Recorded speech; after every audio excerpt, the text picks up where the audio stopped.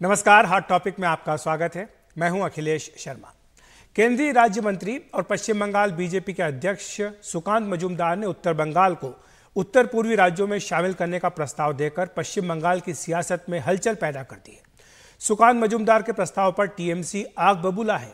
TMC ने इसे पूरी तरह से खारिज कर राज्य में अशांति पैदा करने की कोशिश करार दिया है। उधर बीजेपी का कहना है कि ये योजना बंगाल के विभाजन की नहीं लेकिन इसे लेकर बीजेपी में भी अंदरूनी कलह सामने आ गई है सुकांत मजूमदार को उनके ही पार्टी के विधायक की आलोचना का सामना भी करना पड़ रहा है कार्शियांग के बीजेपी विधायक विष्णु प्रसाद शर्मा ने पार्टी के प्रदेश अध्यक्ष के प्रस्ताव को अवास्तविक करार दिया है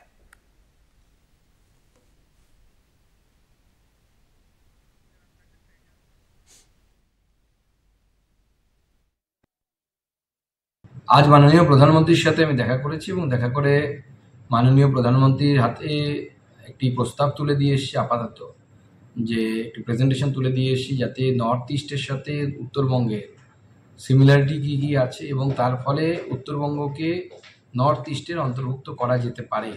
এই ধরনের প্রপোজাল আমি মাননীয় প্রধানমন্ত্রীকে দিয়েছি। এবার মাননীয় প্রধানমন্ত্রী তার বিচার করবেন এবং আগামী দিনে যদি নর্থ ইস্টের সাথে উত্তরবঙ্গ যুক্ত হয়, উত্তরবঙ্গ পশ্চিমবঙ্গের অংশ হিসেবে নর্থ ইস্টের সাথে যদি যায় তাহলে পরে স্বাভাবিকভাবেই উত্তরবঙ্গে কেন্দ্রীয় যে প্রকল্পগুলো আছে সেই প্রকল্পের টাকা অনেক বেশি পরিমাণে পাওয়া যাবে এবং তার সাথে সাথে এই এলাকার এই এলাকা অনুন্নত এবং এলাকার উন্নয়ন হবে এবং আমার মনে হয় রাজ্য সরকারেরও এতে বাধা থাকবে না বা রাজ্য সরকারের সহযোগিতা আমরা পাবো वहीं टीएमसी के प्रवक्ता कुणाल घोष ने इसे लोगों को भ्रमित करने की कोशिश करार दिया है देखिए सुकांत मजूमदार जो बोल रहा है ये प्राइम मिनिस्टर के साथ उनका बात हुआ देखिए, ये फिर से वो, ये हारने के बाद, ये नॉर्थ बंगाल थोड़ा अलग अलग, ये बंगाल से अलग करने का प्रोवोकेशन ये सब स्मेल आ रहा है, बदबू आ रहा है उनका ये सब बात से। अब देखिए, ये किसी का दोस्त नहीं है नॉर्थ बंगाल का भी नहीं साउथ बंगाल का भी नहीं। क्योंकि ये तो बंगाल का ही दुश्मन है। बंगाल का रुपया मत दीजिए सौ दिन का रुपया मत दीजिए आवास का रुपया मत दीजिए। ये तो दिल्ली में पूरा बंगाल का खीरा कंस्पिरेसी किया था ये सुकांत मजुमदार एंड कंपनी जबकि कार्शियांग से बीजेपी विधायक विष्णु प्रसाद शर्मा ने कहा कि ये उत्तर बंगाल के उन लोगों को धोखा देने का प्रयास है जो बंगाल से अलग होना चाहते हैं। सुकांत बाबू का ये बयान यूटोपियन थॉट है। ये यूटोपियन ये कभी होगा ही नहीं। दूसरा, ये उत्तर बंगाल के लोगों को जो बंगाल से सेपरेशन चाहते हैं, उनका 26 के चुनाव में आईवास करने का एक तरीका है। सिक्किम को मिलाने में बहुत जद्दोजहद करना पड़ा था, ये मुझे मालूम है। जे उस जद्दोजहद में मतलब कुछ स्पेशल प्रोविज़न के चलते सिक्किम को उसमें अंतर्भुक्त किया गया, क्योंकि सिक्किम 371 एफ़ के तहत मतलब रिज़र्व है, वो कुछ उनका स्पेशल प्रेरोगेटिव है। तो उसके चलते उनको पूर्वोत्तर परिषद में लिया गया था। ये तो बंगाल है। और बंगाल में पूर्वोत्तर का जो कैरेक्टर है, उसका मिलता नहीं मिलता जुलता नहीं है। इसी पर चर्चा करने के लिए हमारे साथ हमारे सहयोगी सौरभ गुप्ता कोलकाता से जुड़ रहे हैं। सौरभ, ये पहली बार नहीं है जब उत्तरी बंगाल को अलग करने की बात हुई हो। बीजेपी इससे पहले भी कई बार ये बात कह चुकी है।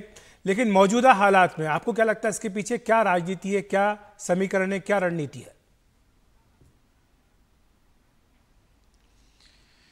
देखिए, उत्तर बंगाल का जो क्षेत्र है, वहाँ से बीजेपी को राजनीतिक सफलता मिले हैं, चुनावी सफलता मिले हैं। और चुनावी सफलता को बरकरार रखने के लिए बीजेपी को ज़मीन पर डिलीवर करते हुए दिखाई देना पड़ेगा। 2024 के जो चुनावी जो रिज़ल्ट था, जो नतीजा था उसको लेकर ज़ाहिर सी बात है, बीजेपी खुश नहीं है। और ये चुनाव शुभेंदु अधिकारी और सुकांत मजुमदार के नेतृत्व में लड़ा गया था। लेकिन अब जो स्थिति है 2026 की चुनाव, विधानसभा चुनाव, बहुत ही अहम चुनाव होंगे। तृणमूल कांग्रेस इस चुनाव में उत्तर बंगाल के तरफ़ फोकस रख रहे हैं, क्योंकि उनको वहाँ से सीट बढ़ाना है। और अगर इसी दिशा में तृणमूल कांग्रेस चल रहा है तो बीजेपी का जो एक बेस बना है जो एक स्ट्रांग होल्ड कह सकते से कह सकते हैं आप उत्तर बंगाल में उसे बरकरार रखने के लिए बीजेपी को वहाँ के वोटर्स को ये दिखाना पड़ेगा कि उस क्षेत्र की जो डेवलपमेंट है वहाँ के जो डिमांड्स है उसे पूरी करने का क्षमता बीजेपी रखते हैं। और इसीलिए शायद क्योंकि सुकांत मजुमदार जो इस क्षेत्र के मंत्री बने हैं development of North East region का राज्य मंत्री बने हैं उनका ये प्रस्ताव रखा गया है। हालाँकि सबको इस इस बात से कोई असहमति नहीं दिखा रहे कि ये चुनाव के ऊपर नज़र रखते हुए इस प्रस्ताव को रखा गया है। लेकिन इसमें तृणमूल ज़रूर आरोप लगा रहे हैं कि ये बंगाल को फिर से विभाजन करने का एक प्रक्रिया है बीजेपी के तरफ़ से। जी। शुक्रिया आपका सौरभ इस तमाम जानकारी के लिए। और इसी पर चर्चा करने के लिए हमारे साथ दो बेहद खास मेहमान भी जुड़ रहे हैं। मानव जायसवाल जी हैं, जो कि टीएमसी प्रवक्ता हैं।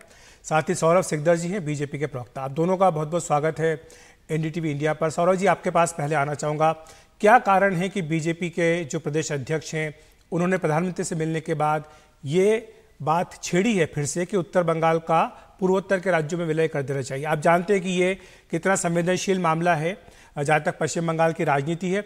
और जैसी कि अपेक्षा थी, वैसा ही हुआ कि टीएमसी अचानक ये बात सुनते हमलावर भी हो गई है। तो क्या कारण है कि बीजेपी ये मांग कर रही है उत्तर बंगाल को अलग करने की? देखिए, टीएमसी को तो कुछ भी बहाना चाहिए लड़ने लेकिन मानव जायसवाल जी यहाँ बैठे हैं। अगर मानव जायसवाल जी कलकत्ता से है आशा करता उसको बांग्ला समझ में आता होगा। तो सुकांत मजुमदार जी का जो जो वीडियो वार्ता है, उसको पहले मैं सुनने का अनुरोध करूँगा। क्योंकि उसमें क्लियर सुकांत मजुमदार जी ने बोला है कि उत्तर बंगाल को पश्चिम बंगाल के अंदर रहते हुए नॉर्थ ईस्ट के साथ जोड़ने का रिक्वेस्ट किया है उसने। जस्ट फॉर डेवलपमेंट उसने एकदम क्लियर बोला है और मैं भी एक ज़िम्मेदारी के साथ बोल रहा हूँ कि बीजेपी या डॉक्टर सुकांत मजुमदार जो बीजेपी के प्रदेश अध्यक्ष है कहीं पे भी अलग राज्य के बाद ज़िक्र भी नहीं किया। अब देखिए उत्तर मैं खुद उत्तर बंगाल से आता हूँ। तो मेरे को पता है कि उत्तर बंगाल कितना पिछड़ा हुआ है। उत्तर बंगाल के लिए ये ना लेफ़्ट सरकार कुछ किया था ना ये तृणमूल सरकार कुछ किया है। तो अगर कोई केंद्रीय योजना के तहत अ, जोड़ने के बाद उत्तर बंग का कुछ भला हो वहाँ का लोगों का कुछ सुविधा मिले इसमें तो किसी का मना नहीं होना चाहिए क्योंकि वहाँ तो ऐसा नहीं है कि खाली बीजेपी का जो कर्मी है समर्थक है उसको फ़ायदा मिलेगा जो टीएमसी का है उसको मिलेगा नहीं। हम विकास के लिए हम बात कर रहे हैं सुकांतो मजूमदार ने बोला है कि नॉर्थ ईस्ट में जैसे अलग से डेवलपमेंट के लिए फंड दिया जाता है नॉर्थ ईस्ट को जैसे अलग नज़र से देखा जाता है वैसे विकास के नज़र से उत्तर बंग को भी इसके साथ जोड़ा जाए। लेकिन अगर कोई इसका मिस ट्रांसलेशन करेगा तो इसमें तो हम कुछ नहीं कर सकते। ठीक है। तो मानव जायसवाल जी साफ़ तौर पर कह रहे हैं सौरभ जी की ये बात नहीं की गई है बल्कि सिर्फ़ विकास का मुद्दा सामने रखा गया है कि ये जो क्षेत्र है इसका विकास ठीक से नहीं हो पाया है। यही कारण है कि अगर इसको सेंट्रल गवर्नमेंट की ज़्यादा स्कीम चाहिए ज़्यादा मदद चाहिए तो इसके लिए ये कदम उठाया जाना चाहिए। और इसीलिए पीएम मोदी से उन्होंने मुलाकात की और उसके बाद ये बयान दिया है। पहले तो आपके माध्यम से सभी को बहुत बहुत नमस्कार है अखिलेश जी। जी नमस्कार। बड़ा अद्भुत लगता है जब भाजपाइयों की बात हम सुनते हैं। या वो जुमला बाबा के वजह से क्यों ना हो चाहे इनके जो तथाकथित जो नेतागण जब बात करते हैं। ये पिछले कितने सालों से इनके एमपी हैं नॉर्थ ईस्ट नॉर्थ बंगाल में?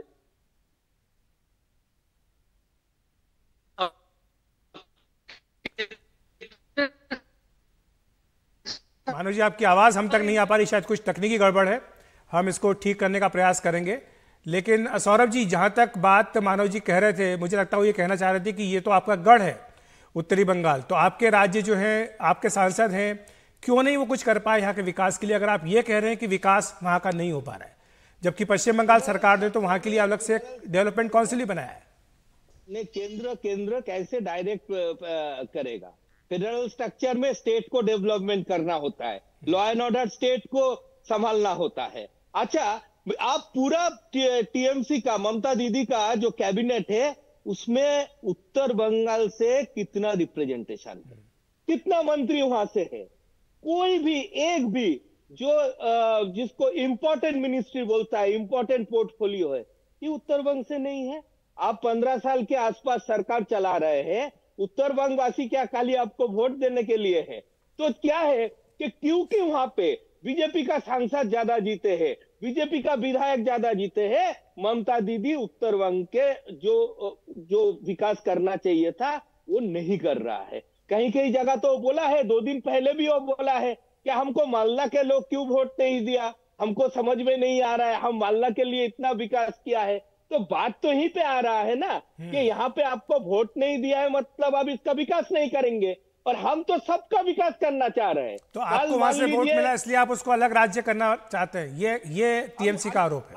और बोलते हैं कि ऐसा कभी नहीं होने देंगे। बोले टीएमसी कभी नहीं होने देगी ऐसा। हम अलग राज्य के बात हम भी कभी नहीं किए हैं। कभी नहीं किया है। अगर किसी ने बोला है तो वो उसका व्यक्तिगत मतामत है। सुकांतो मजुमदार जी बंगाल बीजेपी का प्रदेश अध्यक्ष है अभी भी। तो अगर वो ये क्लियरली जब बोल रहा है कि हम उत्तर बंगाल को पश्चिम बंगाल से अलग किए बिना उनका विकास करने चाहते हैं तो इसमें ये तो समझना चाहिए सबको। और हो सकता है कि उसने बंगाली में बोला तो हमारे कुछ कुछ किसी किसी किसी दोस्त को समझने में असुविधा हुआ है तो वो ट्रांसलेट कर ले उसको। लेकिन मैं फिर से स्पष्ट करना चाहता हूँ कि हम विकास चाहते हैं हम उन्नयन चाहते हैं हम सुरक्षा चाहते हैं। उत्तर बंगाल में चिकन नेक भी आता है जहाँ पे एक साइड भूटान एक साइड बांग्लादेश और वो देश के सुरक्षा के लिए भी बहुत महत्वपूर्ण वो कॉरिडोर माना जाता है उसको। तो आज और देखिए क्राइम रेट वहाँ पे बढ़ता जा रहा है। माथाभंगा में क्या हो रहा है? चोपड़ा में क्या हो रहा है? आप ही लोग ने दिखाया है। जी हमारे साथ मानव जी जुड़ गए हैं। मैं आपको रोकूँगा क्योंकि मानव जी के पास भी चलना होगा। हमने हमारा शुरू में संपर्क उनसे नहीं हो पाया था कुछ तकनीकी दिक्कत थी। मानव जी आप अपनी बात पूरी कर लें और सीधे तौर पर यह कहा जा रहा है कि चूँकि वहाँ का विकास पिछले पंद्रह वर्षों में टीएमसी सरकार ने नहीं किया है इसलिए वहाँ के लोग अपने आप को उपेक्षित महसूस कर रहे हैं। और बीजेपी ये कह रही है कि वो तो उनकी आवाज़ उठाना चाह रही लेकिन बिना संसाधन के बिना राज्य सरकार के सहयोग के ज़ाहिर सी बात है कि वहाँ का विकास नहीं कर सकते। पहले तो मैं आपको बता देना चाहता हूँ, अखिलेश जी, बड़े धूर्त लोग हैं भाजपा वाले। आपको पता है कि नॉर्थ बंगाल के लिए स्पेशल पैकेजेस हमने दिए हमारे असेंबली के थ्रू वहाँ पे डेवलपमेंट बोर्ड बनाया, वहाँ पे जितने भी चाय की जितनी बगाने थी, उनको स्वावलंबी बनाया। वहाँ के वर्कर्स के साथ हम मिले, वहाँ के फैक्ट्रियों से हमने संपर्क रखा, उसमें हमारे अपनी स्टेट हाईवेज वहाँ पे बनाए। वहाँ पे लगभग जो हमारे छब्बीस हज़ार किलोमीटर हमने हाईवेज कुछ सालों में बनाए हैं, उसमें सबसे ज़्यादा जो हाईवेज हमारे स्टेट हाईवेज के जो सड़क पतशील के थ्रू बने हैं वो नॉर्थ बंगाल में बने हैं। टूरिज़्म वहाँ पे डेवलप हुआ है। जिस तरीके से आतंक जिस तरीके से ये जितने लोग भी हैं देखिए क्षमता रखिए सुनने की। दीजिए सौरभ जी। क्षमता रखिए सुनने की आपको काफ़ी समय मिल चुका है। आपको काफ़ी समय मिला है। मानव जी को मानव जी को अपनी बात पूरी कर लेने दे जी मानव जी। जहाँ तक बात है डेवलपमेंट की जहाँ तक बात है नॉर्थ बंगाल के लिए मैं आपको बताना चाहता हूँ कि ममता बनर्जी सिर्फ़ नाम से ही ममता नहीं है ममत्व का निर्वाह किया है। और उनके लिए नॉर्थ बंगाल अपने परिवार से भी ज़्यादा पर अपने खुद से भी ज़्यादा अपने प्राणों से भी ज़्यादा इंपॉर्टेंट जगह है।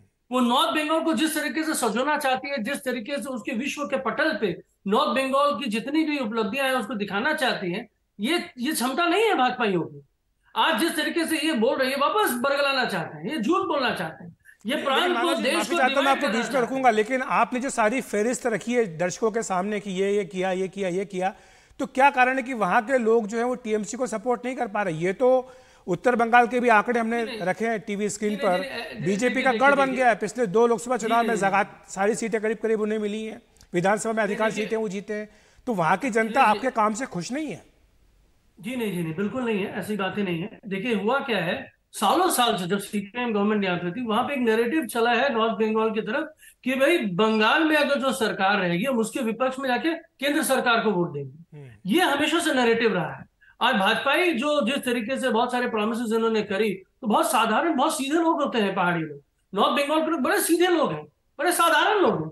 उन्होंने इनके नेता को देखा उनके जुमले को देखा वो भैग गए आज फिर वो वापस हमारे पास है और यही डर हो गया है बीजेपी को ठीक है। बीजेपी समझ गया कि 2000 2026 में हमारी गढ़ यहाँ पे जो है वो खिसक चुकी है। ठीक है। हम हिल चुके हैं क्योंकि अभी जो इलेक्शन हुआ है जिस तरीके से हम लोगों ने डेंट किया वहाँ पे जितनी सीटें हमने कुछ बिहार जैसी कुछ एक सीटें जहाँ पे हम जा रहे हैं जहाँ पहुँचे जहाँ हमारा वोट शेयर बढ़ा है यही तो डर है भाजपा को और भाजपा तोड़ना चाहती है। आज हम आपको बताना चाहते हैं अखिलेश जी बंगाल को सजोने का काम पहाड़ से लेके खाड़ी तक खाड़ी से लेके कहीं पे भी आप चले जाइए एक ही ना, नारा है बंगाल का मैं, मैं सौरभ जी के पास आऊँगा समय की थोड़ी कमी है सौरभ जी।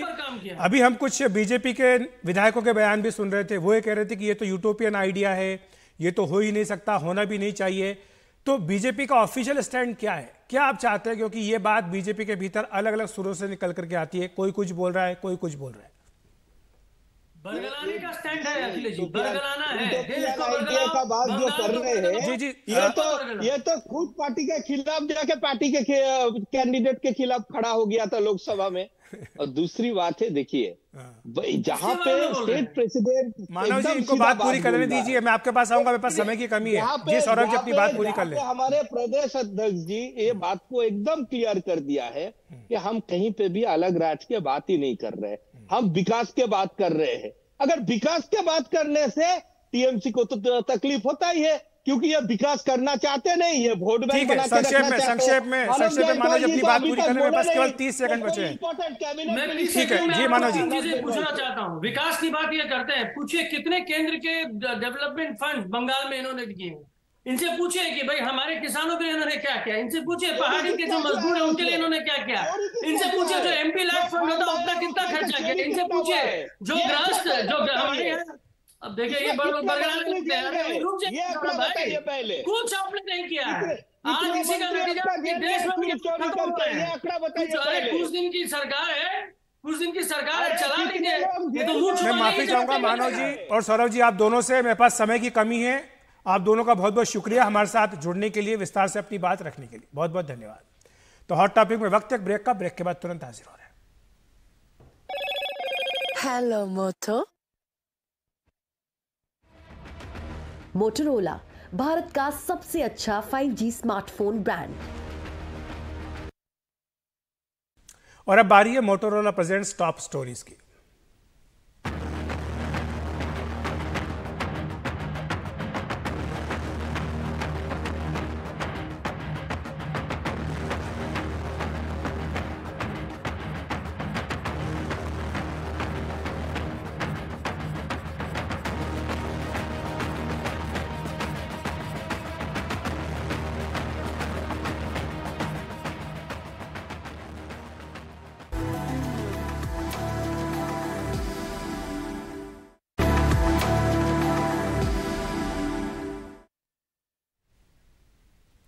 राजस्थान बीजेपी के अध्यक्ष सीपी जोशी ने एक बार फिर अपने पद से इस्तीफे की पेशकश की है। सीपी जोशी ने विधानसभा चुनाव नतीजों के बाद और लोकसभा चुनाव से पहले भी इस्तीफे की पेशकश की थी। चर्चा है कि राजस्थान बीजेपी के संगठन की कमान किसी ओबीसी नेता को सौंपी जा सकती है। राजस्थान में मुख्यमंत्री भजनलाल शर्मा और प्रदेश अध्यक्ष सीपी जोशी दोनों ब्राह्मण हैं। नए प्रदेश अध्यक्ष के लिए मदन राठौड़, प्रभुलाल सैनी और राजेंद्र गहलोत के नामों की चर्चा है। ये तीनों ही ओबीसी नेता हैं।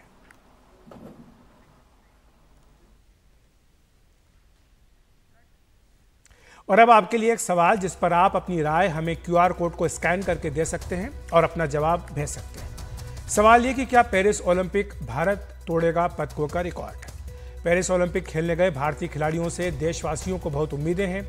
देशवासी ये उम्मीद कर रहे हैं कि खिलाड़ी इस बार ज़्यादा से ज़्यादा पदक लेकर वापस आएँ। तो ऐसे में सवाल यही, क्या भारत पेरिस ओलंपिक में पदकों का रिकॉर्ड तोड़ेगा?